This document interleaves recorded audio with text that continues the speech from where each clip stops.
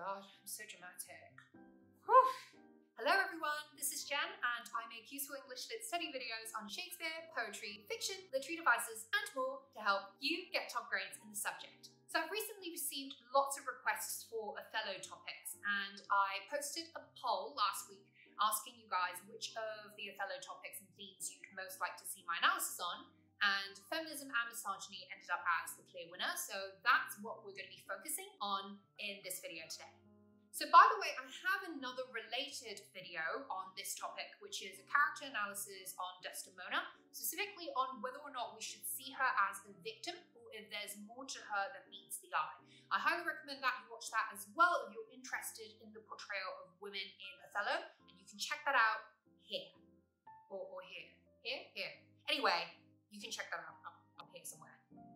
But anyway, in this video, we are going to be exploring the representation of women from a broader perspective and look at how female characters like Desdemona, Emilia, and Bianca are less so victims of misogyny as they are perhaps targets of gendered assumptions and willful ignorance by men and their society. So as always, I aim to take a fresh perspective on every text that we study and read so this is analysis that you probably won't find anywhere else. So if you want top grade ideas on Othello, make sure that you watch till the very end of this video. So in Elizabethan England, the status of women was basically one massive irony. Because on the one hand, you had a childless female monarch at the helm, but for 99% of women with neither blue blood nor royal title to their name, they were pretty much deemed inferior by the society. They were excluded from schools, trades, and most professions, and for the most part, they were expected to be wives and homemakers.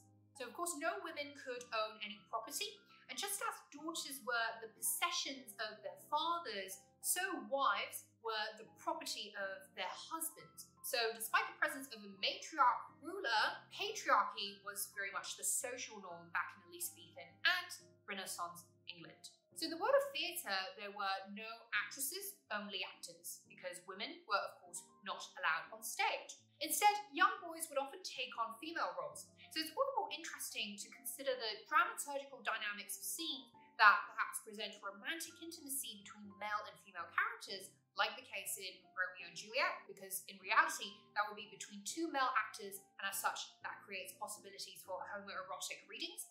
Or perhaps we can think about the dynamics of scenes when female characters like Emilia inveigh against philandering husbands and morally loose men, because in reality, that would be a man, a male actor, criticizing a member of his own sex and thus inspiring opportunities for introspection. But given the relative powerlessness of women in Shakespeare's time, what we'd understand as misogyny today would have been par for the course. So today, no man in any liberal democratic society would be able to get away with calling a woman insulting names, at least definitely not openly. Back in patriarchal Elizabethan England, people wouldn't really bat an eyelid at men bandying about terms like whore, strumpet, and harlot, etc. So this is why if we wanted to argue that Othello is a misogynistic play, or a play that disrespects women, well, I don't think so, but for the sake of my example, let's just assume, but simply saying that male characters like Othello, Iago, and Cassio hurl insults at women would make for a very strong argument. Far from normalizing this kind of behavior, Shakespeare perhaps suggests through the men's crude, frequent, and casual typecasting of women in this play that this reductive impulse to assume that all women would somehow fall within a specific type, i.e., a whore or a goddess, is perhaps a key cause for misunderstanding and tragedy in the play. Now, notice that throughout the play, all male characters are very quick to impose their own assumptions when dealing with the women around them. As we go on to analyse each female character in Othello, we'll also see that their characterisation is at times coloured and sometimes even distorted by the men's narratives. And often these women suffer for not living up to these imposed and often false narratives created by men. Now, for instance, Desdemona is assumed to be this goddess, this perfection personified. But when she reveals herself to be human, she is punished for somehow misleading the men who are wrong about her in the first place because they have put her on this impossible pedestal. And Emilia is assumed to be this dumb, compliant hag but when she reveals her assertive nature by standing up to her husband's villainy, she is murdered for being a disobedient wife. Finally, Bianca is assumed to be no more than a courtesan who only cares about having sex with men for money. But when she reveals that she actually loves and cares for Cassio, she is met with nothing more than derision and disbelief. So let's now examine the assumptions which are imposed on each of these female characters in the play and look at how each of them are made to suffer as a result of daring to challenge these assumptions.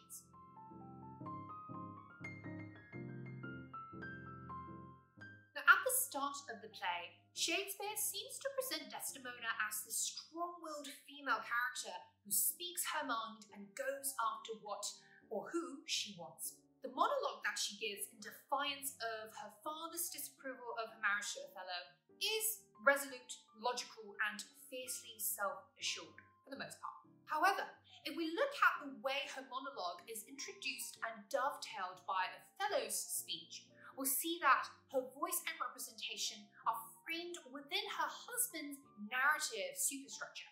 Notice that in Othello's self defense, he speaks mostly of how she, which refers to Desdemona, responded to him. But in doing so, he fashions his wife from his perspective and presents to us, the audience, a unique version of Desdemona before we even get to hear from the woman herself. My story being done, she gave me for my pain a world of sighs. She swore in faith, 'twas strange, 'twas passing strange. 'Twas pitiful, 'twas wondrous pitiful. She wished she had not heard it, yet she wished that heaven had made her such a man. She thanked me. This surely strange, if not also a bit ironic, that in a speech where the man is supposed to be defending himself, he invokes the woman more so than he refers to himself. What's also interesting is the way Othello introduces his wife at the end of the speech when he says, here comes the lady. Let her witness it. Now, the word witness here means to testify or validate. So, in other words, Othello expects his wife to echo his statement, not to share her own thoughts on the matter. And so, when Desdemona gets to share her side of the story, she shows that, in fact, contrary to Othello's claim that she loved me for the dangers I had passed, she loves him for a rather different reason. And as she ever so gently refutes her husband's assumption about her motivation for marrying him, she says, That I did love the more to live with him. My downright violence and storm of fortunes may trumpet to the world. My heart's subdued even to the very quality of my lord. I saw Othello's visage in his mind, and to his honour and his valiant parts did I my soul and fortunes consecrate. So we see then that Desdemona loves Othello because, well, he's Othello.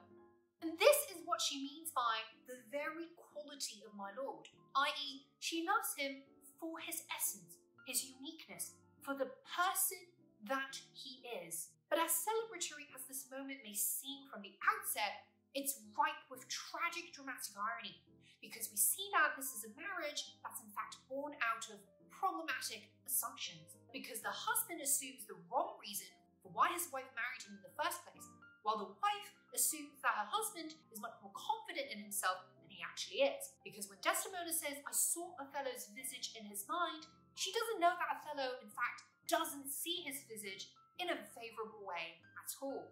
There's also the sense that Desdemona decides that her role in the marriage is going to be subsidiary to her husband, as the hyperbaton of the final two lines, and to his honour and his valiant parts did I my soul and fortunes consecrate, shifts the syntactical dominance to the man's elements, i.e., his honour, his valiant parts, and in turn relegates the woman's decision and action to the latter half of the sentence, which is the line about her soul and fortunes consecrate. And also the woman's part literally comes after the one about the man's honours and valiant parts.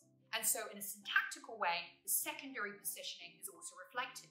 So, just as the opening of the play reveals the erroneous assumptions that Othello holds about his wife, the play ends with a painful echo of the couple's public avowals when Othello piles on the vilifying insults of Desdemona being this public commoner, strumpet, and whore, when he confronts her about her supposed infidelity. Now, pay attention to how many times Othello insults her in the following moment. Was this fair paper, this most goodly book, made to write war upon? What committed, committed, O thou public commoner, impudent strumpet? By heaven, you do me wrong. Are you not a strumpet? No, as I am a Christian. If to preserve this vessel for my lord from any other foul unlawful touch be not to a strumpet, I am none. What? Not a whore? No, as I shall be saved. Is it possible? oh, heaven forgive us. I cry you mercy, then. I took you for that cunning whore of Venice that married with Othello. Now, note that Othello's linguistic tendency in this moment is to either metaphorize or typecast his wife. She is either an inanimate object, this fair paper, this most goodly book, or a degenerate category, public commoner, strumpet, cunning whore, etc. Also, all of Othello's questions here are rhetorical questions, which suggests that he's not interested in actually listening to what his wife has to say about her actions, but rather he's already made up his mind about what she must have done, which is cheat on him because of who he perceives her to be, i.e., a strumpet. Even as Desdemona tries to get down to the factual details by asking real, clarifying questions like, To whom, my lord? With whom? How my false? Or what ignorant sin have I committed? She is ultimately cornered by her husband's refusal to untether himself from his assumptions. As a result, she must resort to a series of limp, powerless rebuttals like, No, as I'm a Christian. No, as I shall be saved. And finally, of course, she is consigned to the fate of absolute silence by death. Even right before Othello plans to kill her, he clings onto his baseless assumptions about Desdemona giving her handkerchief to Cassio without any intention of hearing her out. Thus, again, assuming that whatever comes out of her mouth must be dishonest because, well, a strumpet is by nature a dishonest character. Peace and be still. I will so. What's the matter? That handkerchief which I so loved and gave thee, thou gavest to Cassio. No! By my life and soul!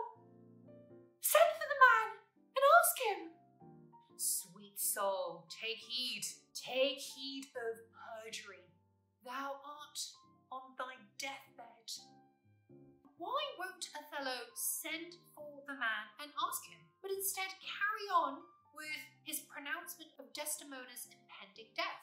It's because he doesn't want to risk the possibility of his assumption being proved wrong. And perversely, his assumption about Desdemona's unfaithfulness has become so great that to have it be proven false would absolutely shatter his ego, which would amount to a de facto death on his part. So, either way, death is on the table, and it's either his or the woman's. So it's apt then that the last straw for Othello should be yet another false assumption he makes about his wife, which is that Desdemona cries out of sadness for Cassio's injury. Oh, my fee interprets. What? Is he dead? Had all his hairs been lives, my great revenge had stomach for them all. Alas, he is betrayed, and I undone. Out, strumpet! Weepst thou for him to my face? Oh, banish me, my lord, but kill me not. Down, strumpet! Oh my god, I'm so dramatic. Now, what we see from these moments then is that there's an inextricable relationship between a man's misguided assumptions about women and his inclination to use misogynistic insults. In fact, they share a causal relationship.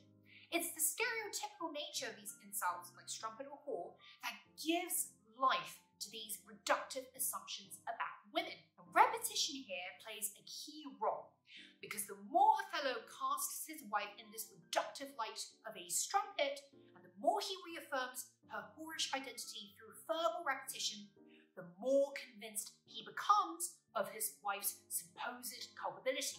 And in his mind, Desdemona equals strumpet. And because a strumpet is defined as a sexually immoral woman who cheats, then regardless of whatever she says, he can only see her according to the limiting definition of the type he has mentally cast her in.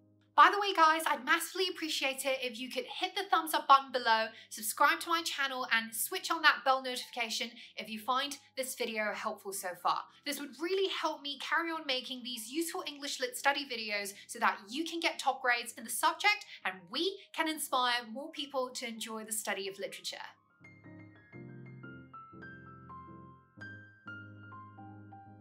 Now, what do the men in the play assume about Emilia? Or perhaps a more interesting question is to ask, what do we, the audience, assume about Emilia? Now, now to scene one, when Desdemona, Iago, and Emilia banter about the nature of male and female relationships, Emilia comes across as somewhat of a pushover who has no choice but to swallow her husband's disdain for women. In the face of Iago's complaints about her nagginess and garrulousness, Emilia says very little, which perhaps makes her husband's accusations ironic. We see this after Cassio kisses Emilia's hand, when Iago says, Sir, would she give you so much of her lips as of her tongue she oft bestows on me? You'll have enough. Alas, she has no speech. In faith, too much. I find it still, when I have list to sleep, marry before your ladyship. I grant she puts her tongue a little in her heart and thinking, You have little cause to say so. And later, when Iago insults women in general for being lazy but also sexually voracious, all Emilia can say is, You shall not write my praise. Now, at this point, the audience is probably going to assume that Emilia is the subservient character, and modern day feminists will no doubt be fuming over the woman's weakness. And Emilia's sparse responses also create the impression that she's a submissive wife who will just take whatever abuse comes her way. And so later in the play, we're all the more surprised when she delivers that impassioned, indignant tract about how husbands should be responsible for their wives' faults and perhaps even more so when she stands up to her husband in defense of Desdemona's good name and refuses to stay silent about Iago's villainy. What's also ironic is that Desdemona should remark, Alas, she has no speech, which means, oh my god, why is she not saying anything? Because in Act 4, Desdemona will be on the receiving end of a long, eloquent speech from Emilia about the need for gender parity in marriage. So, dramatically, the structural contrast that Shakespeare establishes between the taciturn, submissive Emilia at the start and a much more trenchant, assertive Emilia towards the end is significant for our understanding of how women are often the victim of cultural assumptions, which can often be even more toxic than blunt misogyny. Just as Iago comments on the difference between women in public and women in private when he says, You are pictures out of doors bells in your parlours, wild cats in your kitchens. So Shakespeare makes a similar point about women having multiple dimensions to them, but in the sense that what they project to the world, for example, a subservient wife who doesn't openly disagree with her husband, may not be who they truly are within. A strong willed woman who sticks to her guns and refuses to compromise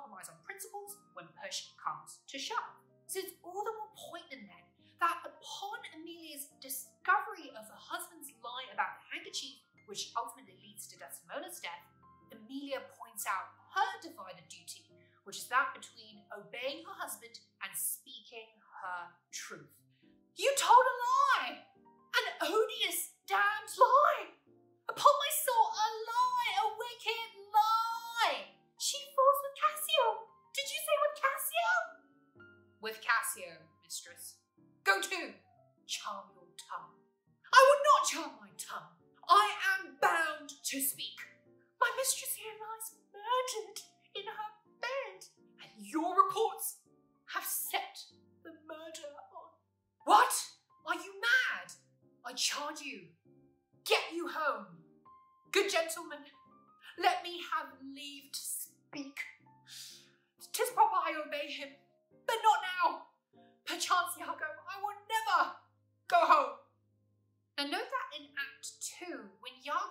accuses his wife of lippiness and of talking too much, Emilia also thought his accusation untrue, but she didn't really bother rebuking him much back then. By this point in the play, though, having seen how Emilia can be incredibly vocal about causes close to her heart, we know that her earlier reticence isn't really an indication of submissiveness, but simply a reflection of mature indifference over trivialities.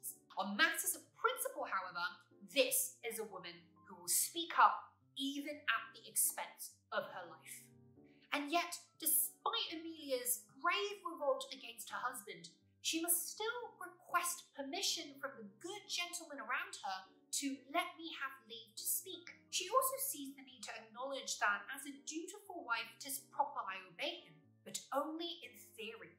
Because on this occasion, proper or not, Emilia can no longer stay within that socially prescribed role of an obedient wife who accepts wholesale her husband's actions. Some feminist critics may even argue that the true hero, or in this case, heroine, of the play is Emilia, who sacrifices her life for a truly valiant cause, all the while demonstrating the authenticity and complexity of real women, which counters the impulse of reductive stereotyping that so many of the men in Othello demonstrate.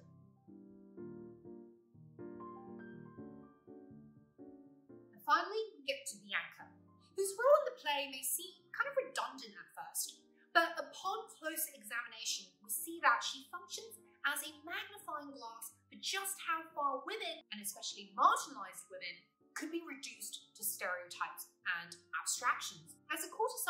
Bianca doesn't have the most reputable job in the world, true, but at no point in the play does Shakespeare present her in a derogatory or immoral light. She is, however, referred to repeatedly by Iago in the most dehumanizing and disdainful terms, and used by Cassio as this disposable companion whose emotions are not really given much consideration. Everyone assumes that Bianca is a purely transactional figure, quote, a housewife that by selling her desires buys herself bread and clothes, in Iago's words. Bread and clothes here are metonyms for practical goods, while selling and buy are examples of mercenary diction, all of which suggest that Bianca is only after Cassio for nothing more than material and bodily means. But Before Bianca's emotional reaction to Cassio being hurt by Roderigo in Act 5, we see that she actually cares for him, and that for all the public perception of her being no more than this whore, she is to use her rebuke against Emilia, quote, no strumpet, but of life as honest as you that thus abuse me. So she is presented as a woman with emotional depth and pluck, not just some sexual object to be used and abused at men's pleasure. And despite attempts at typecasting her as no more than a whore, Bianca's vocal protests expose the hypocrisy of a society that seems righteous on the outside, but is actually often more immoral than a supposed prostitute. Interestingly, when Bianca cries, Alas, he faints! Oh, Cassio, Cassio, Cassio! Bianca echoes the tricolon repetition of Cassio's lament early in the play, when Othello demotes him for being part of a drunken brawl. Reputation, reputation, reputation. Oh, I've lost my reputation. I've lost the immortal part of myself. And what remains Now, when we juxtapose Bianca and Cassio's statements, we see that while Cassio sees the loss of his reputation as being social suicide, Bianca is someone who doesn't care at all about his professional standing, and instead, she loves him as a whole person, as just Cassio the man. Even though he hurts her by asking her to take out the work of what she suspects to be some minx's token, or when he treats her as a side chick whom he can just beckon and command at will. This is, in a way, similar to Desdemona's reason for loving Othello. She loves him for the very quality of my lord, remember? And she accepts the man in his entirety, even though he subjects her to numerous kinds of verbal and physical abuse. This is ironic as well that out of all the women in the play, only Bianca, who is the actual professional strumpet, speaks out against being called a strumpet, as when she says, I am no strumpet, but of life as honest as you that thus abuse me. It's also worth considering that, unlike Desdemona and Emilia, Bianca is the only female character who doesn't die by the time the play concludes? Is she simply too unimportant to meet such a tragic fate? Or is there also a suggestion that the woman who is least embarrassed about standing up to false allegations, throwaway insults, and wrongful assumptions will ultimately be the survivor of the fittest, especially in a society where women are systemically misunderstood by men anyway? So perhaps the women in Othello are admirable and daring in that they all seek to challenge the cultural assumptions lodged against them by the men in their lives. However, it's perhaps part of the tragic impact that Shakespeare should have Desdemona and Emilia, two main female characters, suffer for being the subject of such assumptions. And despite putting up a good fight, they are ultimately defeated by these very assumptions which have unjustly defined them. At the end of the day, then, perhaps it's more rewarding to consider Desdemona, Emilia, and Bianca not as these victims of misogynistic impulses, but more as martyrs of proto feministic instincts in an age where feminism had yet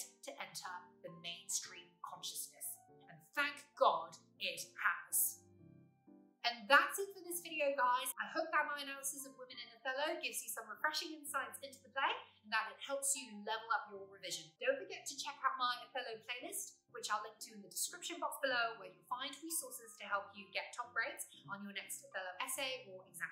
As always, please do hit the thumbs up button below if you like this video and subscribe to my channel if you haven't already so you don't miss out on any of the top grade English Lit study videos I'll be posting on a weekly basis. And I'll see you guys in the next one.